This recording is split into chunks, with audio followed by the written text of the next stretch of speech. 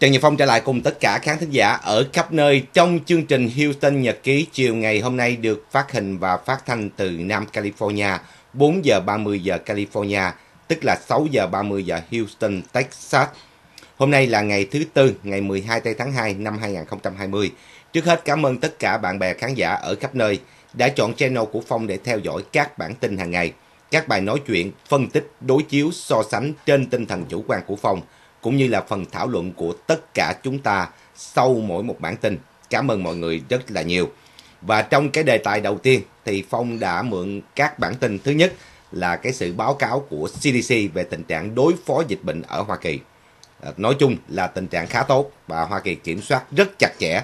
13 trường hợp vẫn chưa có lây lan thêm và điều này cho thấy rằng là Hoa Kỳ đã có một cái chiến lược rất tốt đối phó với dịch bệnh có thể lan rộng tới Hoa Kỳ trước cái lời cảnh báo của tổ chức W à, tổ chức WHO tức là nếu không cẩn thận nó có thể ảnh hưởng tới 60% dân số trên toàn cầu.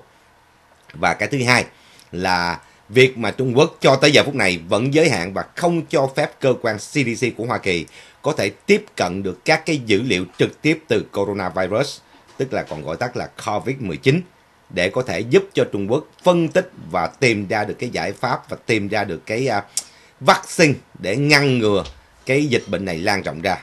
Nhưng mà cái hành động của Trung Quốc mà ngăn cản như vậy và tiếp tục giới hạn như vậy, nó đã cho chúng ta có nhiều câu hỏi thắc mắc. Lý do tại sao người ta tới giúp mình mà mình vẫn giới hạn người ta. Điều này cho thấy là Trung Quốc thứ nhất là họ muốn che giấu rất nhiều điều. Và những điều họ che giấu là những điều họ làm bậy hay là họ muốn che giấu cái cuộc đấu tranh nội bộ bên trong hay là họ muốn à, ngăn cản những cái hậu quả từ dịch bệnh này để lại một cái hậu về sau mà họ khó có thể giải quyết được. Thứ nhất là cái việc mà không muốn Hoa Kỳ biết được nguồn gốc thật sự của con virus này. Đó là một cái giả thuyết thứ nhất. Giả thuyết thứ hai là muốn che giấu cái cuộc đấu tranh nội bộ. Tức là đây là một trong những bên phía Tập Cận Bình thì muốn cho CDC vào để giúp đỡ dập dập tắt dịch bệnh này ngay lập tức. Còn phe chống đối Tập Cận Bình muốn lợi dụng cái dịch bệnh này đã lan tỏa ra để mà đang lan rộng ra trong thời gian sắp tới để mà kềm hãm và tước đoạt cái quyền lực của Tập Cận Bình. Do đó, họ cố tình ngăn cản không để cho CDC bước vào trong lãnh thổ Hoa Kỳ, à, lãnh thổ của Trung Quốc và tiếp cận với các cái à, dữ liệu trực tiếp từ đây. Hay là theo cái à, nhận định là phía Trung Quốc đó là những cái nhận định mà tôi đưa ra trong cái uh, đề tài thứ nhất và cái uh, những cái điều mà chúng ta nhìn thấy được thì uh, và giờ phút này chúng ta vẫn không hiểu được lý do tại sao Trung Quốc làm điều này. Nhưng mà ít nhất chúng ta có thể đưa ra những cái giả thuyết và những cái giả thuyết này có thể giúp chúng ta hiểu được rõ hơn về cái ý định của Trung Quốc là ngăn cản cái hậu quả về sau. Cái giả thuyết thứ ba là hậu quả về sau đó tức là sau cái cái đại dịch này có thể sẽ là những cái cuộc tấn công về mặt trận nhân quyền mà Trung Quốc phải hứng chịu. Họ không muốn cho CDC có bằng chứng hay có bất cứ một cái gì liên quan tới việc mà họ đối xử với người dân, vân vân. Thì những cái giả thuyết này tôi đưa ra nhằm để mà là giải thích lý do tại sao mà Trung Quốc đề phòng Hoa Kỳ khá nhiều. Đó là cái đề tài thứ nhất ngày hôm nay. Và bây giờ bước qua cái đề tài thứ hai. Trong cái đề tài thứ hai thì à, sáng nay tôi có loan hai cái tin. Cái tin thứ nhất là Hoa Kỳ, Bộ Ngoại giao đưa lời cảnh cáo với Trung Quốc trong cái việc mà họ đe dọa tới Đài Loan bằng hai chiếc bomber thứ ngày Chủ nhật và ngày thứ hai, cộng thêm cái cuộc tập trận ở trên cái cửa biển Hà Môn đe dọa tới Đài Loan. Và cùng một lượt với lời cảnh cáo này thì không quân của Hoa Kỳ cũng đã gửi hai chiếc bomber bay tới eo biển Đài Loan nhưng mà ở phía đông chứ không nằm trong eo biển. Còn bay ngang cái eo biển là chiếc C-130 của Hoa Kỳ và tất cả những chiếc máy bay này đều à, bay từ hướng Bắc tới hướng Nam. Tức là họ đi từ cái căn cứ Okinawa, là căn cứ không quân của Hoa Kỳ ở đây, để bay tới Đài Loan. Thì cái này là buổi sáng này tôi có loan tin cho các bạn rồi. Và chiều nay thì lại có một cái tin mới mà cái tin này thì tôi dựa trên cái bản tin này để mà làm một cái bài phân tích cho các bạn thấy tại sao bây giờ Hoa Kỳ phải đối phó, phải có, tại sao bây giờ chúng ta thấy rằng Trung Quốc hoạt động quá nhiều ở đất nước Hoa Kỳ.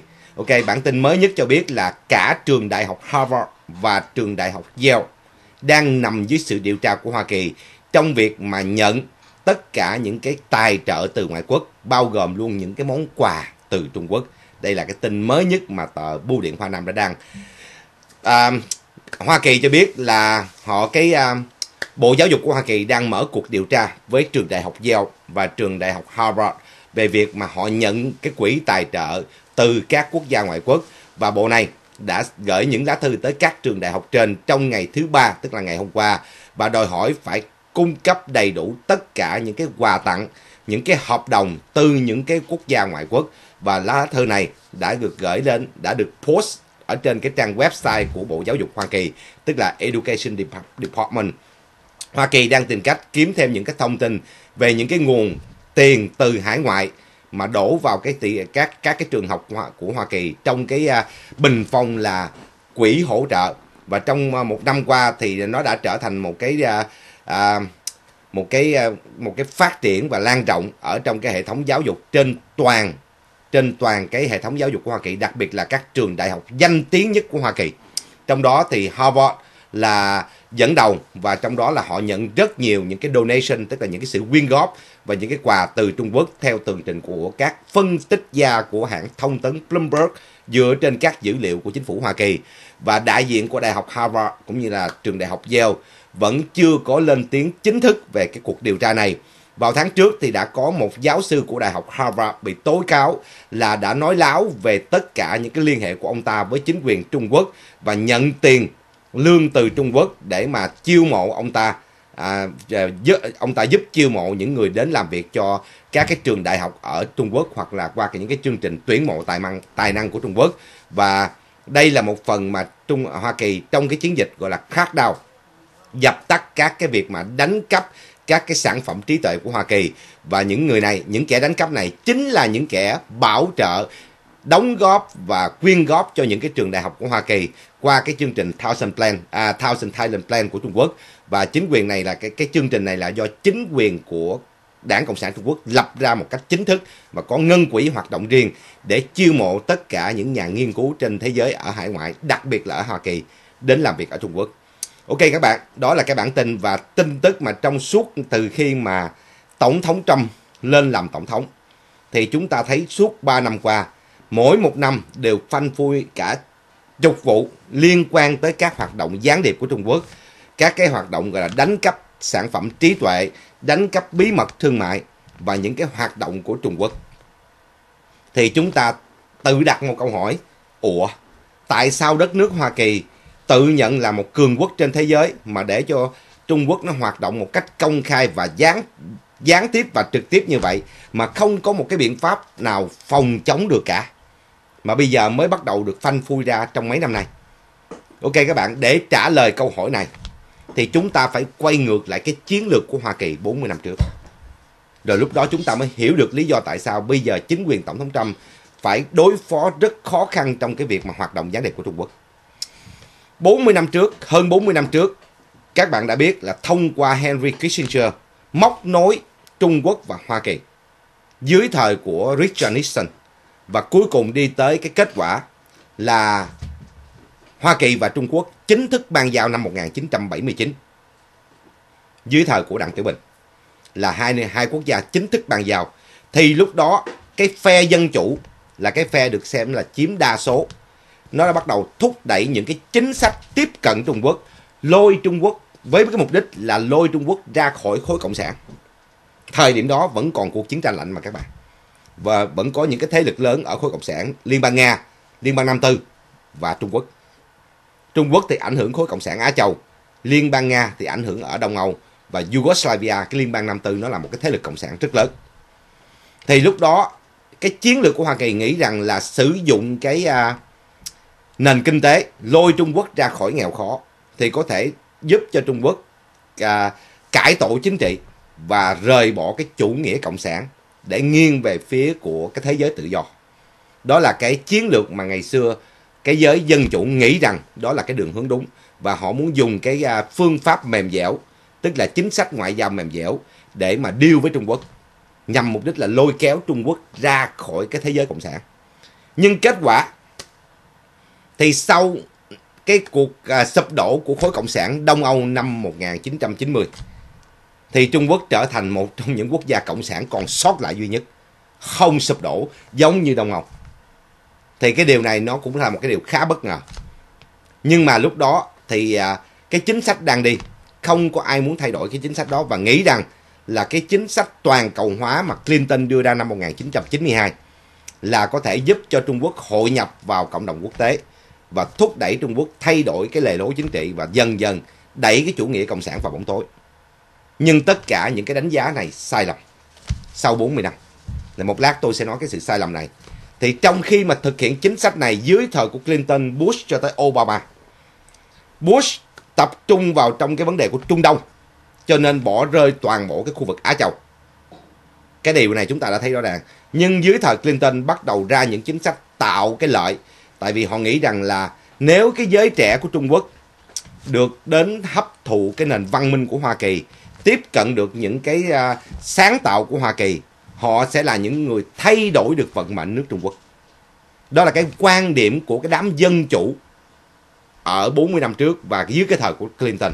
Do đó, họ mở rộng rất nhiều cho Trung Quốc. Clinton đã ban cho Trung Quốc cái tối huệ quốc, tức là hàng của Trung Quốc được nhập cảng vào Hoa Kỳ với cái mức thuế thấp. Mỗi một năm duyệt xét cái tối huệ quốc này, trong 8 năm liên tiếp, Clinton ký tối huệ quốc cho Trung Quốc cho tới năm 2001 khi mà Trung Quốc chính thức gia nhập WTO thì vẫn được cái sự ưu đãi về thuế của Hoa Kỳ. Đó là điều thứ nhất. Thứ hai là vì muốn cho Trung, cái giới trẻ của Trung Quốc tức là những thế hệ sau thay đổi vận mạng của cái à, thể chế cai trị tại Trung Quốc. Họ đã mở rộng từ cái cơ sở làm ăn buôn bán, tức là từ những cái à, việc mà cho người Trung Quốc qua đây làm ăn buôn bán dễ dàng hơn, rồi cho du học sinh từ Trung Quốc qua để hấp thụ cái nền văn minh bên đây rồi cộng thêm là cái sự mà cho phép một số những trường đại học của Hoa Kỳ được phép hợp tác với lại những trường đại học ở Trung Quốc để có cái sự gọi là trao đổi học vấn. Rồi thậm chí các bạn thấy dưới thời Obama là còn cho phép à, lập những viện khổng tử trên cả trăm trường đại học ở Hoa Kỳ để nghiên cứu về văn hóa Trung Quốc và ngôn ngữ của Trung Quốc đại khái như vậy. Thì họ mở rộng tất cả mọi thứ với cái cái cái à, suy nghĩ rằng là những cái thế hệ kế tiếp nó sẽ làm nước Trung Quốc thay đổi tốt hơn. Nhưng mà tất cả đều sai lầm. Tất cả đều sai lầm hết hoàn toàn. Và cái uh, chiến lược 40 năm trước là một cái chiến lược sai lầm lớn của Hoa Kỳ. Tại sao tôi nói là sai lầm? Ngày hôm nay, Trung Quốc là một cái quốc gia biểu tượng của độc tài toàn trị trên thế giới. Đi ngược lại tất cả với cái giá trị của Hoa Kỳ. Những kẻ qua Hoa Kỳ để mà học hấp thụ nền văn hóa của Hoa Kỳ, hấp thụ cái nền giáo dục cao nhất của Hoa Kỳ và hấp thụ cái nền văn minh tốt nhất của Hoa Kỳ. Thay vì thay đổi vận mạng và thay đổi đất nước Trung Quốc có một cái hướng đi hội nhập với cộng đồng quốc tế thì nó lại khi nó về tới Trung Quốc nó lại trở nên tinh vi hơn. Nó lại trở nên tinh vi hơn và nó đem tất cả những gì nó học từ Trung Quốc về. Nó vung đắp cho cái chế độ độc tài đó càng độc tài hơn và ngày hôm nay trở thành cái biểu tượng trên toàn cầu độc tài toàn trị. Sự độc tài của Trung Quốc còn gấp mấy lần của nước Nga luôn. Thì khi mà ông Trump ông lên thì lúc đó các bạn thấy là ông nổ. Cái này sai hoàn toàn rồi. Cái uh, ý thức hệ gì đó mà quý vị nói rối mù lắm tôi không biết. Nhưng mà bây giờ chính quý vị 40 năm nay đã tạo ra một con khủng long Trung Quốc mà nó đang uy hiếp tới cái nền an ninh của Hoa Kỳ nó đang uy hiếp tới cái nền kinh tế và quyền lợi của Hoa Kỳ, uy hiếp tới cái giá trị cốt lõi của đất nước Hoa Kỳ. Cứ nghĩ rằng là dùng cái chính sách ngoại giao mềm dẻo là lôi kéo được Trung Quốc. Nhưng mà vô tình họ không lôi kéo được Trung Quốc. Ngược lại, họ còn đóng, đóng góp cho cái sự vững mạnh của cái đảng cai trị tại Trung Quốc là đảng Cộng sản. Do đó kể từ khi mà ông Trump ông lên thì tất cả chính sách đã được sắp đặt để thay đổi. Và khi sắp đặt để thay đổi thì lúc đó bắt đầu phanh phui ra. Thì các bạn mới thấy là hàng loạt từ năm 2017 ông lên. 2017, 2018, 2019. Liên tục mỗi một năm như vậy, cả chục vụ làm gián điệp đều được phơi ra bày ra ánh sáng. Cả chục vụ ăn cắp sản phẩm trí tuệ và các bí mật thương mại của Hoa Kỳ bị lôi ra ánh sáng. Và những hoạt động của sinh viên Trung Quốc ở tất cả các trường đại học và các viện nghiên cứu của Hoa Kỳ đều bị lôi ra ánh sáng. Rồi chính những cái nơi mà Trung Quốc gọi là dùng để mà quảng bá cho cái nền văn hóa và ngôn ngữ của Trung Quốc là viện khổng tử đó thì trở thành một cái khu vực tuyên truyền cho đảng Cộng sản, thậm chí là đôi lúc có những cái hoạt động gián điệp, chiêu mộ, đánh cắp tài sản của Hoa Kỳ.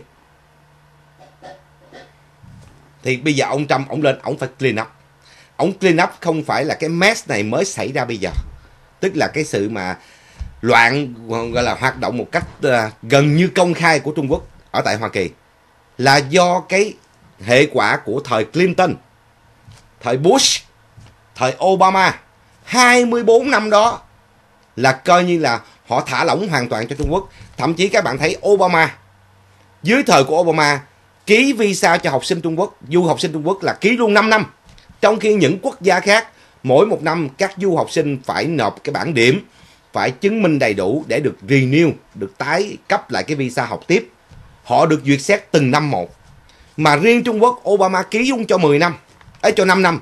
Rồi các nhà nghiên cứu của Trung Quốc được à, đi qua đi lại Hoa Kỳ và Trung Quốc, có ký luôn 10 năm.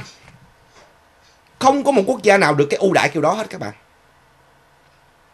Không có một quốc gia nào được ưu đãi như Trung Quốc kiểu đó hết. Bây giờ số lượng du học sinh Trung Quốc là đứng đầu ở Mỹ luôn. Đông nhất ở Mỹ luôn.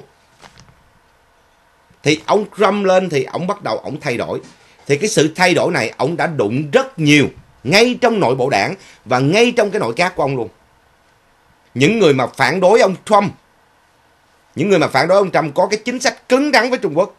Trong đó là các bạn thấy là ông James Mattis là bộ trưởng quốc phòng ông này vẫn chủ trương làm ăn với Trung Quốc và làm việc với Trung Quốc.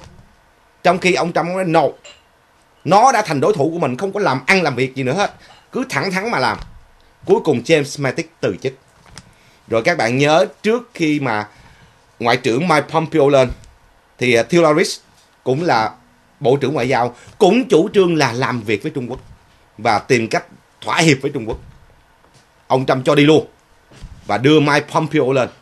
Mike Pompeo là một người có một cái chủ trương cứng rắn với Trung Quốc và các bạn thấy trong vòng một năm mấy hai năm nay từ khi Mike Pompeo lên ông đã tấn công Trung Quốc tối đa và ông chặn tất cả những cái gì của Trung Quốc. Là ông Trump muốn có một cái chính sách rõ ràng với Trung Quốc. Đây là đối thủ của mình, chứ không còn là đối tác của mình nữa. Bao nhiêu năm nay nó làm ăn trên cái lưng của mình, nó trục lợi bao nhiêu ở trên cái lưng của mình. Mà mình vẫn ờ, phải thỏa hiệp với nó, nương nó để mà vuốt ve nó. No, ông Trump không có chuyện đó. Ông phải giành lại cái tư thế của đất nước Hoa Kỳ. Và Trung Quốc bắt đầu sử dụng các bạn thấy Ngày hôm kia tôi có loan tin cho các bạn là Bộ Tư pháp chính thức điều tra cái tờ Trung Hoa Nhật Báo là cái tờ báo trung gian cung cấp tiền cho Washington Post, cung cấp tiền cho New York Times, cung cấp tiền cho USA, USA Today để viết những bài có lợi cho Trung Quốc. Bây giờ họ đã bị điều tra.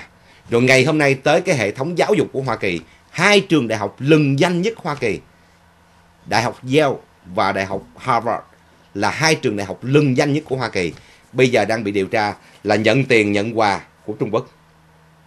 Các bạn thấy chưa?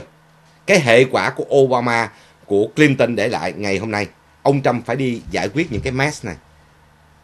Và đã tới lúc Hoa Kỳ phải chấn chỉnh lại. Và tôi vẫn đồng ý rằng là ông Trump đã có cái chính sách rất đứng đắn là phải chấn chỉnh lại tất cả mọi cái quan hệ với Trung Quốc. Một cách rất rõ nét. Và các bạn thấy trong cái chính sách của ông đưa ra là rất là rõ ràng không có thỏa hiệp với Trung Quốc cái nào ra cái đó và các bạn thấy bây giờ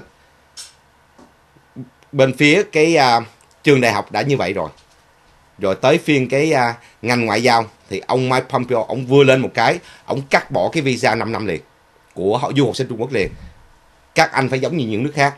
Mỗi năm phải xin renew visa. Rồi xong ông hủy bỏ luôn tất cả những cái visa của những researcher tức là những nghiên cứu gia của Trung Quốc. 10 năm no. Tất cả đều giống nhau. Một năm. Một năm đi ra đi vô và sau đó sẽ được duyệt xét để được tái cấp lại visa chứ không cho một cái visa tới 10 năm như vậy. Thì các bạn thấy bây giờ tất cả những uh, khoa học gia của Trung Quốc hay là những nghiên cứu gia của Trung Quốc mà đặt chân tới phi trường Los Angeles hay là phi trường San Francisco mà mở cái visa ra mà 10 năm, họ tịch thu lại liền. Họ gỡ ra liền. Họ đóng cái một visa 6 tháng một năm thôi. Họ không cho thêm nữa. Họ hủy bỏ luôn cái visa 10 năm thì các bạn thấy là ông Trump đã đưa ra những chính sách này và liên tục, gần như mỗi một tuần, trong cái tin tôi đưa các bạn đều đều ít nhiều dính dáng tới cái việc hoạt động gián điệp của Trung Quốc. Gần như tuần nào tôi đưa tin, các bạn cũng thấy là hết kẻ này bị truy tố, tới kẻ kia bị truy tố. Cái hậu quả đó đâu phải là mới xảy ra bây giờ, các bạn. Nó đã xảy ra nhiều năm rồi. Và trong nhiều năm đó Trung Quốc đã đánh cắp bao nhiêu cái sản phẩm trí tuệ của Hoa Kỳ để phát triển kinh tế. và đánh cắp bao nhiêu cái bí mật về quân sự của Hoa Kỳ để vun đắp cho sự gọi là hiện đại hóa quân đội của Trung Quốc ở tại Trung Quốc. Bây giờ ông Trump phải đi clean up. Ông phải đi dọn dẹp tất cả những cái bãi rác mà thời của Clinton, Bush và Obama để lại với cái hồ sơ của Trung Quốc. Bush tập trung tất cả vào Trung Đông. Gần như Bush bỏ rơi hoàn toàn khu vực Á Châu và bỏ rơi luôn Trung Quốc luôn. Không quan tâm tới vấn đề Trung Quốc nói cái gì làm cái gì luôn. Trong 8 năm của Bush, tập trung hoàn toàn vào Trung Đông và Afghanistan. Do đó, những gì mà Trung Quốc hưởng là từ cái thời Clinton để lại. Rồi tới thời Obama lại có thêm những cái chính sách ưu đãi cho Trung Quốc nữa. Chính vì cái điều này mà ông Trump đã cố gắng làm và bây giờ các bạn thấy mỗi một tuần chúng ta đều thấy những cái bản tin liên quan tới việc hoạt động gián điệp của Trung Quốc và những cái quỹ tài trợ của Trung Quốc nhắm vào tất cả những cái hệ thống của Hoa Kỳ. Trong đó đầu tiên hết, ưu tiên hàng đầu là ngành truyền thông. Trung Quốc đã đầu tư qua Trung Hoa Nhật Báo để bơm tiền vào các cơ quan truyền thông của Hoa Kỳ để vẽ lên một cái hình ảnh Trung Quốc rất là đẹp, đảng Cộng sản rất là đẹp trong mắt người dân Hoa Kỳ.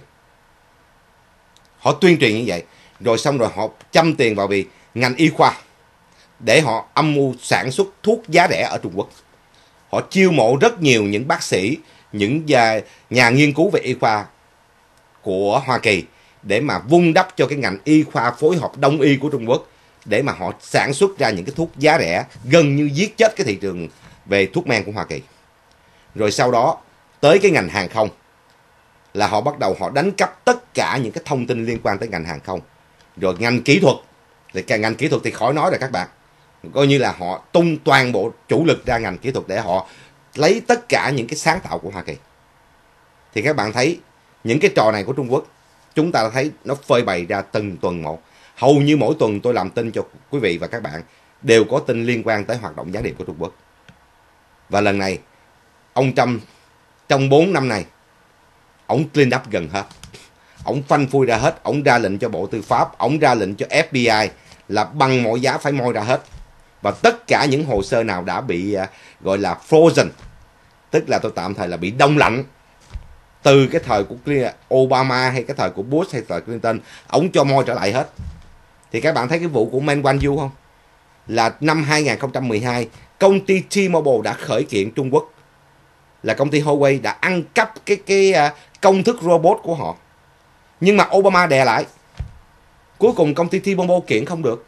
Cho tới bây giờ khi Man Wanyu bị Canada bắt giữ, thì lúc đó T-Mobile mới bắt đầu rón rén nộp đơn kiện lên mà sợ là tổng, chính quyền ông Trump lại phủ phủ quyết nữa. No. Lúc đưa lên là ông Trump đưa thẳng qua Bộ Tư pháp làm việc đi. Thì các bạn thấy, tất cả cái game bây giờ nó mở ra. Ông Trump khui hết tất cả các cái nồi ra. Không đậy lại nữa. Thì khi khui ra các cái nồi rồi, chúng ta mới thấy được những con dòi Trung Quốc nó bò lúc nhúc ở nhiều cái nồi khác nhau. Tất cả các lĩnh vực của Hoa Kỳ. Từ lĩnh vực về uh, freight tức là về vận chuyển cho tới lĩnh vực về ngân hàng cho tới lĩnh vực về kỹ thuật cho tới ngành hàng không, ngành quốc phòng, ngành y tế, ngành giáo dục, tất cả Trung Quốc đều xâm nhập hết. Và bây giờ ông Trump phải làm một cái gọi là một cái cuộc gọi là tổng càn quét cho tất cả đẩy ra hết. Thì các bạn thấy trong cái đợt tổng càn quét này thì chúng ta mới thấy wow, sao mà tuần nào ông Trần Nhật Phong ông cũng đưa tin là có gián điệp Trung Quốc hoạt động ở Mỹ hết. Là do ông Trump ông clean up. Chứ không phải là tôi cố tình tôi đi kiếm những cái tin này, mà do ông clean up cho mỗi ngày tin nó lên. Và các bạn thấy rõ ràng là cái mạng lưới hoạt động của Trung Quốc rất mạnh. Và để chặn đứng những cái mạng lưới này, không phải chỉ có một sớm một chiều. Ông Trump đã bắt đầu làm từ năm 2017 cho tới bây giờ. Thì các bạn thấy rằng là từ 2017 tới bây giờ là chúng ta đã có cái kết quả tương đối thôi. Nhưng mà để ngăn chặn toàn bộ, nó không phải chuyện dễ dàng. Tại vì còn nhiều trường đại học, nhiều cái bệnh viện vẫn tham tiền của Trung Quốc cung cấp. Và bây giờ chúng ta đang chờ những cái sắc luật mới từ phía chính quyền Tổng thống Trump, từ phía Quốc hội Hoa Kỳ, ngăn cản cái việc mà nhận tài trợ từ nước ngoài. Để làm rõ ràng minh bạch tất cả các cái tiền. Trung Quốc bây giờ mà Hoa Kỳ chặn hết trực tiếp từ Trung Quốc, Trung Quốc lại thông qua bên Âu Châu, thông qua bên Úc, thông qua bên Nhật để mượn những cái đầu này đưa tiền cho những cái trường đại học. Thì bây giờ Hoa Kỳ lại phải viết những cái luật để ngăn chặn tất cả các trường đại học nhận tiền vô tội vạ của các tổ chức trên thế giới. Mà trong đó chủ lực là của Trung Quốc. Thì các bạn thấy đây là một cái cuộc gọi là à, clean up tôi gọi là một cái cuộc clean up của ông trong tổng tổng uh, quét dọn toàn diện nhưng mà cái cuộc quét dọn này nó đòi hỏi cái sự hợp tác của tất cả các ban ngành và tất cả các ban ngành phải hợp tác với Hoa Kỳ phải hợp tác với chính phủ liên bang và các tiểu bang cũng phải hợp tác với chính phủ liên bang để mà clean up, chứ không thôi là nếu mà cái tình trạng này các bạn nghĩ Hillary lên nếu mà trong 3 năm qua Hillary làm tổng thống, thì tôi nghĩ rằng là coi như là nước Mỹ này sẽ bị kiểm soát chặt chẽ bởi Trung Quốc bởi vì Hillary sẽ không đưa ra nỗ lực giống như là ông Trump để ngăn chặn, mà Hillary sẽ đi theo cái vết xe đổ của Obama lại thỏa hiệp với Trung Quốc và tạo cơ hội cho Trung Quốc lại bắt đầu xâm nhập sâu hơn vào các ban ngành. Và như vậy, nếu cái lộ trình đó đi thì 2030 Trung Quốc qua mặt Hoa Kỳ là chuyện đương nhiên. Nhưng may ông Trump đã lên sớm thì coi như đã chặn được cái bước tiến của Trung Quốc. Ít nhất trong 3 năm nay các bạn thấy những hồ sơ được phanh phui ra tất cả mọi thứ thì cái mà chúng ta làm được mà chúng ta nhìn thấy được là cái chính sách này đứng đắn và nếu ông Trump tiếp tục cái chính sách này mà clean up cái kiểu này thì tôi nghĩ rằng trong vòng thêm 2-3 năm nữa là coi như Trung Quốc khó có thể tiếp cận được những gì mà Hoa Kỳ đã bảo vệ. Và lúc đó Trung Quốc sẽ bị co cụm lại. Họ không đánh cắp được những gì từ Hoa Kỳ, họ không hoạt động gián điệp từ, từ Hoa Kỳ. Thì lúc đó các bạn tình hình sẽ thay đổi. Cái thế của Trung Quốc nó sẽ rớt xuống rất là rất là nhiều. Nó không có còn cái kiểu mà giống như là mạnh miệng như bây giờ nữa. Tôi hy vọng là ông Trump sẽ giữ được cái à, cái thước này và cái à, chính sách này hiện nay và tiếp tục à, gây gắt hơn. Thì chúng ta sẽ có một cái À, một cái à, thế giới khác và một cái trật tự khác mà tôi nghĩ rằng là nó sẽ tốt hơn cho cộng đồng thế giới. Ok các bạn, đó là cái bài phân tích chiều tối ngày hôm nay và một lát Phong sẽ trở lại cùng tất cả mọi người trong phần tin cập nhật buổi tối. Và ở phần này thì các bạn có thể à, đóng góp ý kiến trong cái bài à, nói chuyện ngày hôm nay trên chương trình Houston Nhật Ký hoặc là các bạn có thể à, dựa trên cái à, tin cập nhật vào buổi tối chiều ngày hôm nay của Phong để tiếp tục à, đóng góp ý kiến trong chương trình tin cập nhật buổi tối một tiếng đồng hồ nữa lúc 6 giờ 30 giờ California. Cảm ơn tất cả mọi người đã theo dõi cái bài nói chuyện ngày hôm nay trong chương trình Houston Nhật Tý. Chúng ta sẽ gặp lại vào một tiếng đồng hồ nữa. Bye bye.